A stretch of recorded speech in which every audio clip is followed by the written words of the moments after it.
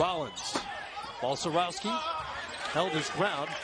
You know, ho- hopefully bring back Brown, Adam Porzingis, you know, a guy who really had a great year for Washington last year. So I got to say the odds on favor has to be the Celtics. Okay, well, Troop, I'll let you get back to watching the young guys. Appreciate your time. Here comes Davison with a head of steam.